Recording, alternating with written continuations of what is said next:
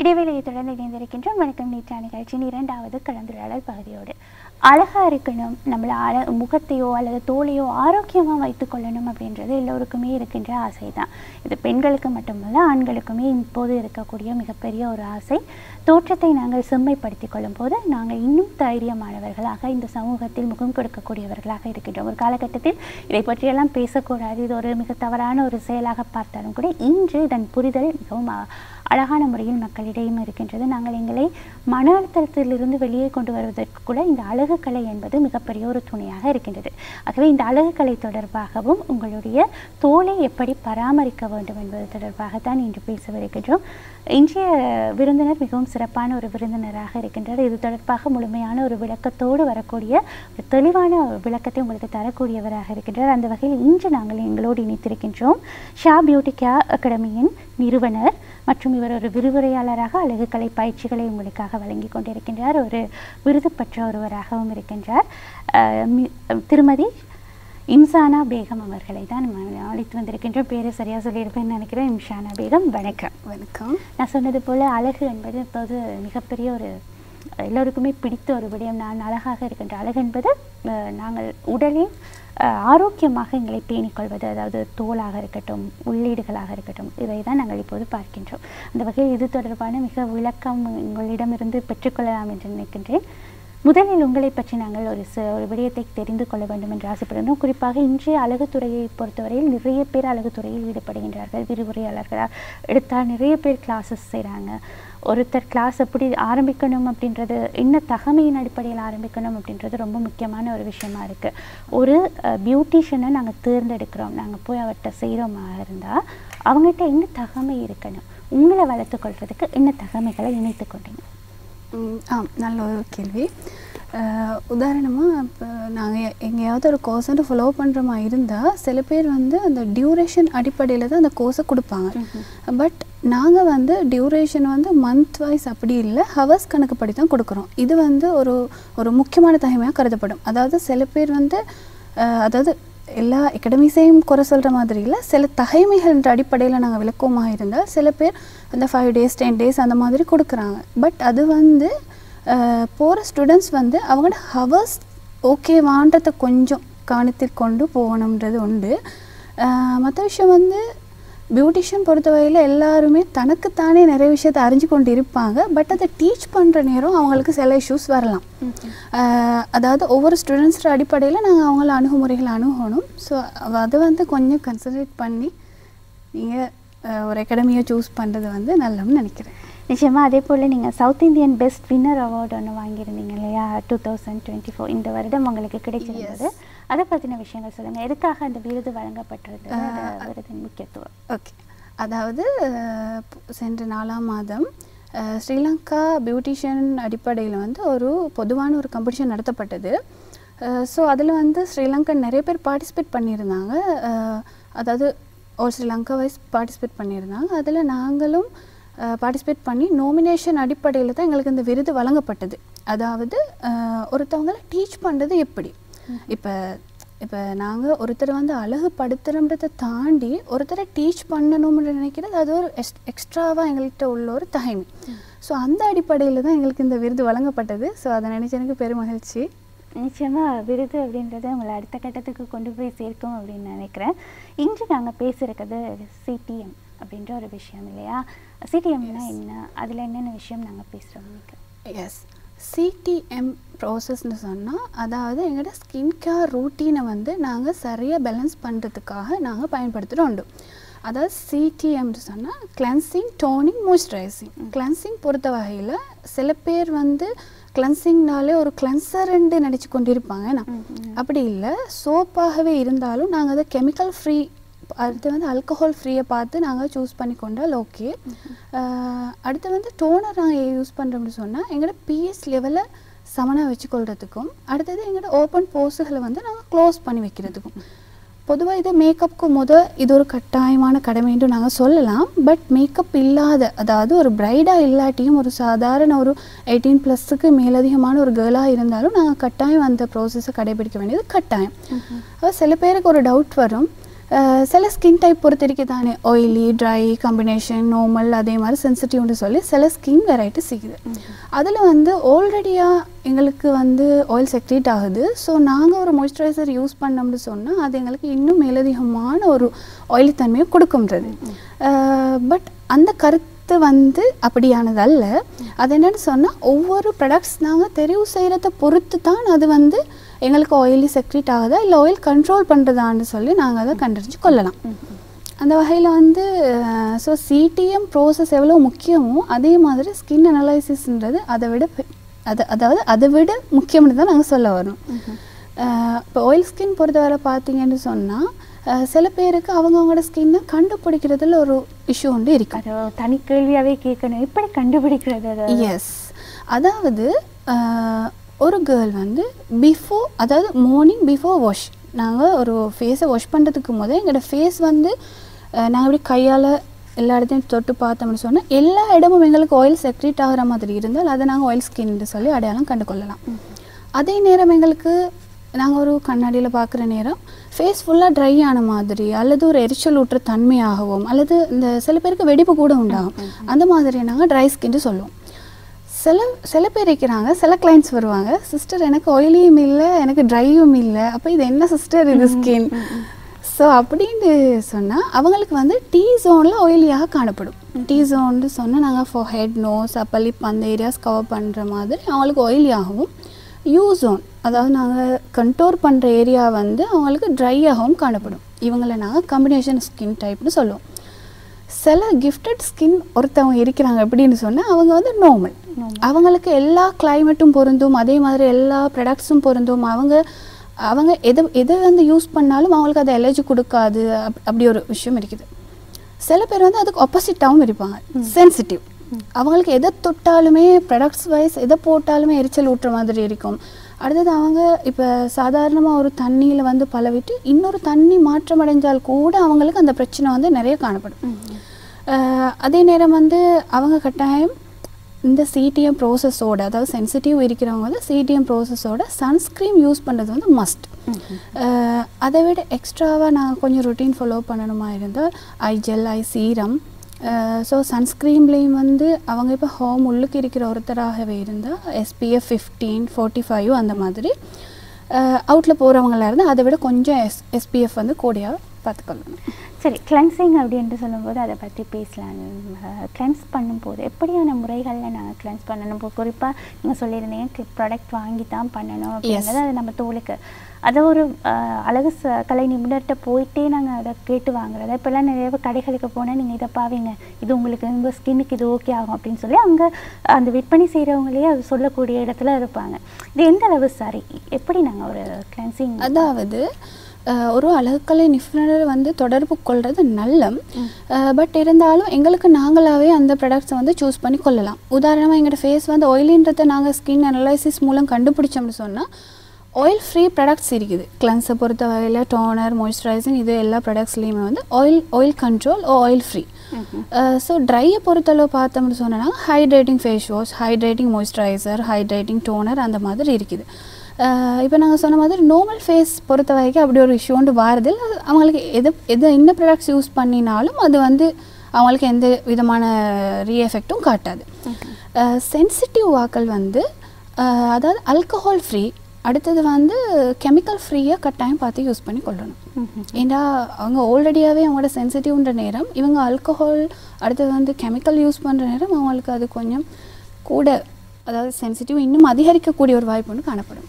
நிஜமாக இன்னொரு விஷயம் இருக்கு இல்லையா இப்போ நாங்கள் ஃபேஸ் வாஷ் எந்த நாளும் போடுவோம். கிளென்சிங் தொடர்ந்து போடணுமா? எந்த நாளும் நாங்கள் பயன்படுத்தணுமா? இந்த வயசுலேருந்து இந்த விஷயம் கண்டிப்பாக இந்த வயசுக்கு பிறகு நீங்கள் இந்த விஷயத்தை நீங்கள் கையாளுங்கன்னா இந்த வயசை சொல்கிறீங்க அதாவது எயிட்டீன் ப்ளஸ்லேருந்து நாங்கள் கட்டாயம் இதை கையாளணும். பிகாஸ் இப்போ எயிட்டீன் ப்ளஸ்ஸாக இருக்கும் வரை நாங்கள் வந்து ஒரு ஹாமுல்லுக்கு அதாவது ஒரு செல்லப்பிள்ளையா அந்த மாதிரி ஒரு இது. ஸோ எயிட்டீன் ப்ளஸ்ஸுக்கு பிறகு நாங்கள் ஏதோ ஒரு தேவை நிமித்தம் வந்து வெளியே போகலாம். அல்லது ஹோமில் இருந்தால் கூட எங்களோட ஸ்கின் வந்து அந்தந்த உரிய ஏஜஸ் பொறுத்து ஏஜிங் வர பார்க்கும். அடுத்து ரிங்கல்ஸ் வந்து வர பார்க்கும். பொதுவாக இப்போ ஃபோன் யூஸ் பண்ணுறதும் அதிகம்ன்றனால ட்ரிங்கர்ஸ் பொறுத்தவரை நிறையவே இருக்குது. அந்த அடிப்படையில் நாங்கள் எயிட்டீன் ப்ளஸ்ஸுக்கு வந்து பரிந்துரை செய்யலாம்.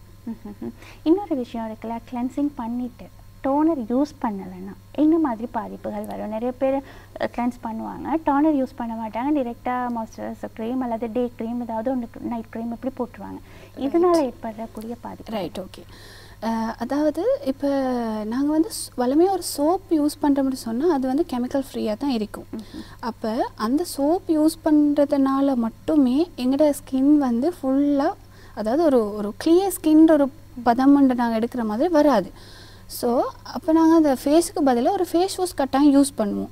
அதாவது எங்களோட சருமத்துக்கு ஒரு ஆரோக்கியமாக இருக்கட்டும் அல்லது ஒரு புத்துணர்ச்சி அல்லது ஒரு விட்டமின் சீரம் நாங்கள் சேர்த்து யூஸ் பண்ணுறோம் அது ஒரு விட்டமினாகவும் நாங்கள் பயன்படுத்தி கொள்ளலாம். அப்போ என்ன நடக்கும்னு சொன்னால் எங்களோட தோள்களில் வந்து மூணு படலங்கள் காணப்படும். ஸோ அந்த ரெண்டாவது படலத்தை தாக்கக்கூடிய ஒரு சக்தி வந்து இந்த ஃபேஸ் வாஷுக்கு மட்டும்தான் இருக்குது. அதாவது எக்னி ப்ராப்ளம் உள் அதாவது மூன்றாவது படலத்தில் இருந்தால் கூட அந்த எக்னி ப்ராப்ளத்தை வந்து சரி செய்யக்கூடிய ஒரு ஒரு ஆற்றல் வந்து இந்த ஃபேஸ் வாஷுக்கு இருக்குது.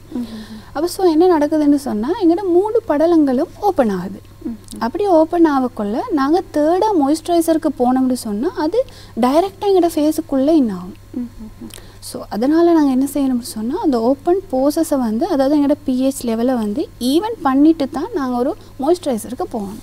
இல்லாட்டி அதனுடான பாதிப்புகள் இன்னும் அதிகரிக்க எஸ் அதாவது ஒரு பியூட்டிஷியனை நீங்கள் தொடர்பு கொண்டீங்கன்னு சொன்னால் அவங்க அதுக்குரிய சரியான ஸ்ட்ரக்சரை வந்து அவங்க செய்வாங்க. பட் இப்போ சில பேர் வந்து அவங்க அவங்களுக்குள்ளேயே சிடிஎம் ப்ரோசஸ் வந்து அதிகரித்து வருது. அதால் அவங்களுக்கு சம்டைம் அதாவது மாய்ஸ்சரைசர் சரியாக சூஸ் பண்ண தெரியலைன்னா அது வந்து பெரிய பாதிப்புக்குள்ளாகும் அந்த ஸ்கின் நிச்சயமா இன்னொரு விஷயம் இருக்கு. இப்போ நாங்கள் வந்து இந்த விஷயங்கள்லாம் செய்யும்போது நீங்கள் இந்த சீரம் அப்படின்ற ஒரு விஷயம் சொல்லியிருந்தீங்க சீரத்தின் முக்கியத்துவம். என்ன மாதிரி நாங்கள் சீரம் பயன்படுத்தணுன்றது நிறைய பேருக்கு தெரியாது. இது ஒரு இப்போ அதிகமாக யூஸ் பண்ணுறாங்க ஆனால் சரியாக யூஸ் பண்ணுறாங்களா அப்படின்றது தெரியாது. அதை பற்றின விஷயம் எஸ். சீரம்னு நாங்கள் பார்த்தோம்னு சொன்னால் இப்போ டாக்டர்ஸே பரிந்துரைக்கிறாங்க. அதாவது விட்டமின் சி சீரம் நீங்கள் யூஸ் பண்ணுங்கன்னு சொல்லி. அதாவது நாங்கள் ஆர்கானிக்காவிலையும் அது யூஸ் பண்ணிக்கொள்ள இயலும் அப்படி இல்லைன்னா நாங்கள் ப்ராடக்ட்ஸ் வைஸ் ஆர்கானிக்காவை பார்த்து நாங்கள் யூஸ் பண்ணலும் சீரம் வந்து நாங்கள் எப்படி யூஸ் பண்ணணும்னு சொன்னால் இப்போ நாங்கள் சிடிஎம் ப்ராசஸ்க்கு எவ்வளோ முக்கியத்துவம் கொடுக்குறோமோ அதே மாதிரி வீக்குக்கு டுவைஸ் நாங்கள் ஃபேஸ் மாஸ்க் வந்து அப்ளை பண்ணுறது கட்டாயம். இப்போ நீங்கள் கேட்ட மாதிரி சிடிஎம் ப்ராசஸ் நாங்கள் டெய்லி செய்யணுமான்னு கேட்டால் யா மஸ்ட் அதாவது டெய்லி செய்யணும் நாங்கள் அதோட வீக்லி டுவைஸ் வந்து நாங்கள் ஃபேஸ் மாஸ்க் அப்ளை பண்ணிக்கொள்ளணும். அந்த ஃபேஸ் மாஸ்க்கும் எங்களுக்கு அந்த ரொட்டீன் சரியாக போதாதுன்ற பட்சத்தில் தான் நாங்கள் அந்த சீரமுக்கு போகலாம் பட் சீரம் வந்து கட்டாயம் நாங்கள் யூஸ் பண்ணணுன்றது கிடையாது. அது வந்து ஒரு எக்ஸ்ட்ரா கேர் ரொட்டீன் சரி இதெல்லாமே நாங்கள் தொடர்ந்து செய்துட்டு இருந்தா கூட பியூட்டிஷியனை இப்போ பார்க்கணும். இப்போ இந்த விஷயமெல்லாம் நாங்கள் செய்துட்ருக்கோம் ஃபேஸ் க்ளீனப்பாக இருக்கலாம் அல்லது அந்த அந்த விஷயங்களுக்கு எப்போ பார்க்கணும். இதெல்லாம் செஞ்சுட்டு இருந்தாலும் கண்டிப்பாக நாங்கள் ஒரு பியூட்டிஷியனை பார்க்கணுமா இல்லை தேவையில்லையே? கட்டாயம் பார்க்கணும். என்னென்னு சொன்னால் அதாவது ஒரு பியூட்டிஷியனுக்கு தான் இவங்களோட எக்னி ப்ராப்ளம் என்னத்தால் வருதுன்ற ஒரு சரியான சொல்யூஷனை கொடுக்க மு கொடுக்க முடியும். இப்போ தனக்குத்தானே அவங்க மேக்கப் ப்ராடக்ட்ஸ் யூஸ் பண்ணி கொள்றதுனால சம்டைம் அவங்க ஸ்கின் அனலைசிஸை கூட மிஸ் பண்ணுறதுக்கான வாய்ப்புகள் வந்து அதிகம் காணப்படும். இப்போ நான் சொன்ன மாதிரி தான் சில பேர் வந்து பார்ட்ஸ் அடிப்படையில் வச்சு எங்களோட ஸ்கின் ஆயிலி ட்ரைன்ற முடிவுக்கு வந்துடுவாங்க அப்போ ஸோ யூ ஜோனில் வந்து ட்ரையாக காணப்படுமா இருந்தால் டீ ஜோனில் ஒயிலின்றத வந்து அவங்களுக்கு சரியாக நிர்ணயித்து அவங்களால ஒரு சொல்யூஷனுக்கு வர இல்லாத தன்மை ஒன்று காணப்படும். அப்போ அதனால் கட்டாயம் அவங்க ஒரு பியூட்டிஷியனை தொடர்பு கொண்டு அதை செய்கிற அளவு அஹ், நல்ல சரி நீங்கள் ஒரு விரிவுரையாளராக இருக்கீங்க. நிறைய கற்கை நெறிகள் செய்கிறீங்க அதை பற்றின விஷயங்கள் சொல்லலாம். என்ன மாதிரி கற்கை நெறிகள் அதாவது நாங்கள் டிப்ளமா கோர்ஸ் கொடுக்குறோம். டிப்ளமா நான் சொன்ன மாதிரி தான். அதாவது டியூரேஷன் வந்து த்ரீ மந்த் சிக்ஸ் மந்த் இப்போ one year one and half an year அப்படி போகுது. பட் எங்களோட டியூரேஷன் வந்து ஹவர்ஸ் கணக்குக்கு தான் நாங்கள் கொடுக்குறோம். அதாவது ஃபுல் டைம் செஞ்சாங்களா இருந்தால் நாங்கள் டென் டேஸ் கொடுப்போம். அதே நேரம் அவங்க அதை த்ரீ மந்த்ஸில் செய்கிறாங்களா இருந்தால் நாங்கள் வீக்லி டுவைஸ் கொடுப்போம். சிக்ஸ் மந்த்தில் செய்கிறாங்களா வீக்லி ஒன்ஸ் கொடுப்போம். அதாவது two and half an hour time பீரியடில் கொடுப்போம். இதே நாங்கள் டென் டேஸ் அவங்க ஃபுல் ரெப்பீட் செய்கிறாங்கன்னு சொன்னால் அவங்களுக்கு ஃபுல் டைம் அதாவது நைன் டு ஃபைவ் அந்த மாதிரி நாங்கள் ஒரு கோர்ஸ் டியூரேஷனை கொடுப்போம்.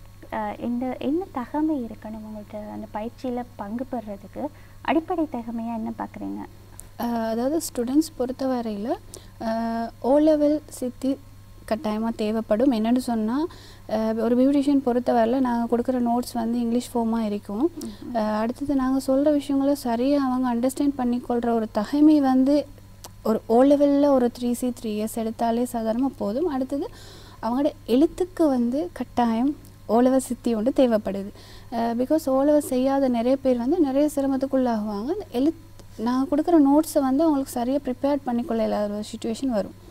ஸோ அவங்க ப்ராக்டிக்கலாக சரியாக செஞ்சாலும் இப்போ இவங்க இந்த டிப்ளமாக்கு போகிற என்விக்யூ மூவ் ஆகிற நேரம் அவங்களுக்கு அது ஒரு பெரிய இஷ்யூவாக காணப்படுது.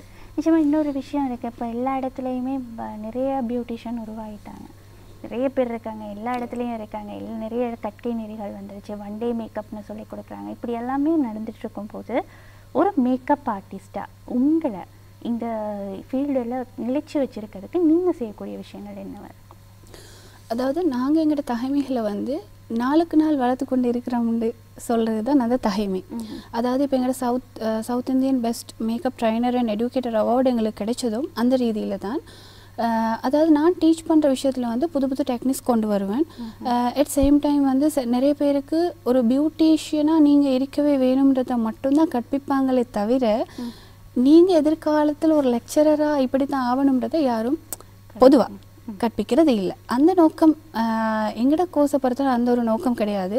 ஸோ நாங்கள் எக்ஸ்ட்ராவாக அதாவது எந்த பேமெண்ட்ஸும் இல்லாமல் அதே நேரம் அதுக்கு ஒரு வேறு ஷெட்யூல் பீரியட் போட்டு இதுக்கு அப்படி அப்படியெல்லாம் இல்லாமல் ஷலூன் மேனேஜ்மெண்ட்டோட ஒரு லெக்சரர் வந்து அதாவது பர்ஃபெக்ட் லெக்சரர் எப்படி பண்ணுறது எப்படி நோட்ஸ் ப்ரிப்பேர் பண்ணுறது ஸ்டூடெண்ட்ஸை நாங்கள் என்ன மாதிரி தயார் பண்ணலாம் என்ற விஷயத்தையும் நாங்கள் அடிக்கடி அப்டேட் பண்ணிகிட்ருக்கிறதால எங்களுக்கு கொஞ்சம் அதாவது ஸ்டூடெண்ட்ஸ் வைஸ் வந்து ஒரு சாட்டிஸ்ஃபை அடைகிறாங்கன்னு நினைக்கிறேன். சரி ஒரு பெண்ணா இந்த துறையில் இருக்கிறது ஒரு அழகான ஒரு விஷயம் அழகான ஒரு விஷயம். ஆனால் எனக்கு கேட்க நீங்கள் எப்படி இதுக்குள்ளே வந்தீங்க? விரும்பி வந்தீங்களா? இந்த துறை உங்களுக்கு எந்த அளவு மகிழ்ச்சியை தருது அதாவது இது ஒரு கலை ரசனைன்னு சொல்லலாம். பொதுவாக சில பெண்கள் வந்து இப்போ நாங்கள் ஒரு பெண்ணை அழகுபடுத்துகிற நேரம் நாங்கள் நிச்சயமாக அந்த பெண்ணை ரசிக்கணும். ம். ரைட் அந்த பெண்ணை ரசிக்கிற மனசு எங்களுக்கு இல்லைன்னு சொன்னால் கட்டாயம் இந்த ஃபீல்டுக்கு வந்து அவங்க பொருத்தமற்றவராகவே நாங்கள் கருதுவோம். அந்த வகையில் எனக்கு வந்து நிறைய பெண்களை அழகுபடுத்தி பார்க்குறேன்றது ஒரு விஷயம் வந்து ஆர்வம். ஸோ நான் பெயிண்டிங்ஸில் நிறைய ஆர்வம். அது அதனூடாகத்தான் நான் இந்த துறைக்குள்ளே வந்தேன். இப்போ திருப்தியாக மகிழ்ச்சியாக தான் இந்த துறையில் இருக்கீங்க அப்படியா? எஸ் கண்டிப்பாக இன்னொரு விஷயம் நாங்கள் கேட்கணும் அப்படின்னு நினச்சோம். இப்போ நீங்கள் விரிவுரையாளர் அப்படின்றத தான் நாங்கள் மென்ஷன் பண்ணிகிட்டே வந்தோம். இதை தாண்டி என்னென்ன விஷயங்கள் செய்கிறீங்க ஈவெண்ட்ஸுக்கும் நீங்கள் மேக்கப் எல்லாமே ப்ரொவைட் பண்ணுறீங்களா என்ன மாதிரி நீங்கள் க வருது உங்களுக்கு ஈவெண்ட்ஸ் என்ன மாதிரியான வெட்டிங் ஈவெண்ட்ஸ் வருதா? அந்த மாதிரியான விஷயங்கள் செய்கிறீங்களா இல்லாட்டி இது மட்டும் இது நான் விரிவுரையாளராக இருந்தால் போதும் அப்படின்ற மாதிரி வரையறைக்குள்ளே இருக்கீங்களா?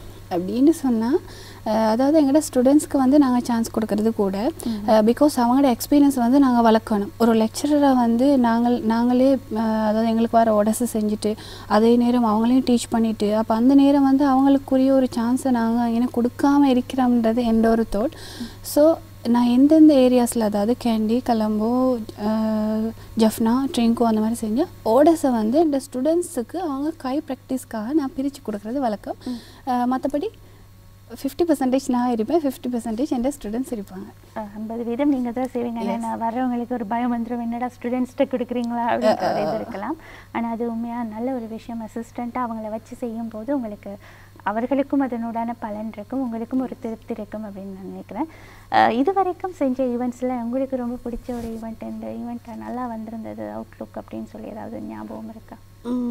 அப்படின்னு சொன்னால் நாங்கள் ஹெச்டி மேக்கப் லுக் செய்கிறது வந்து வழக்கம்.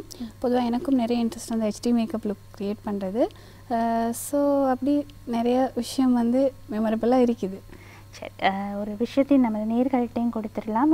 நேர்களுக்கும் இந்த கற்கை நெறி தொடர்பாக உங்களை தொடர்பு கொள்கிறேன்னா இந்த இலக்கத்தினூடாக தொடர்பு கொள்ளலாம் அப்படின்ற ஒரு விஷயம் ஏற்பட்டிருக்கலாம். நாங்கள் அழைக்க வேண்டிய தொலைபேசி இலக்கம் நீங்கள் இம்ஷானா பேகம் அவர்களை நீங்கள் தொடர்பு கொள்ளணும்னா இந்த நம்பருக்கு நீங்கள் தொடர்பு கொள்ளக்கூடிய வாய்ப்பு இருக்கின்றது. பூஜ்ஜியம் ஏழு ஏழு மூன்று ஒன்று ஐந்து ஒன்பது பூஜ்ஜியம் பூஜ்ஜியம் நான்கு. பூஜ்ஜியம் ஏழு ஏழு மூன்று ஒன்று ஐந்து ஒன்பது பூஜ்ஜியம் பூஜ்ஜியம் நான்கு. நாங்கள் இன்றைக்கி சிடிஎம் பற்றி மட்டும் பேசுகிறோம்னு சொல்லி நிறைய விஷயம் எக்ஸ்ட்ராவாகவே உங்கள்கிட்ட இருந்து நாங்கள் கேட்டு தெரிஞ்சுக்கிட்டோம் நிறைய விஷயம். ஏன் ஏன் நாங்கள் வந்து இதெல்லாம் செய்யணும் இப்படி ஏன் செய்யணும் அப்படின்ற ஒரு விஷயம் தெரிஞ்சிருக்கும். நிறைய பேருக்கு அது பயனுள்ள ஒரு விஷயமா இருந்திருக்கும். மிகவும் நன்றி உங்கள் நேரத்தை ஒதுக்கி எங்களுக்காக இந்த விஷயங்களை சொன்னதுக்கு. மிகவும் நன்றி. இன்று எங்களோடு இணைந்திருந்தார் இம்ஷானா பேகம். ஷா பியூட்டி கேர் அகாடமியின் விரிவுரையாளராக இவர் தான் அந்த அகாடமியின் உரிமையாளராகவும் இருக்கார். நாங்கள் உங்களுக்கு நம்பர் தந்திருந்தோம். மேலதிக விவரங்கள் கற்க நெறி தொடர்பாக இனிய விவரங்களை அறிந்து கொள்ள அந்த நம்பருக்கு நீங்கள் தொடர்பு கொள்ளலாம் என்ற விஷயத்தையும் சொல்லிட்டு இன்றைய நிகழ்ச்சியில் இரண்டு கலந்துரையாடல் பகுதிகளையும் நாங்கள் நிறைவுக்கு சேரும் அதே போல நிகழ்ச்சியின் தலைப்பு பகுதியும் கண்டிப்பாக மகிழ்ச்சி எடுத்திருக்கும் என்ற நம்பிக்கையோடு விடைபெறுகின்றோம். இன்றைய நிகழ்ச்சியின் தயாரிப்பாளர் தனஞ்சயன் அவர்களுக்கு நன்றி கூறி விடைபெறும் நான் பிரசாந்த் காயத்ரி நன்றி. வணக்கம்.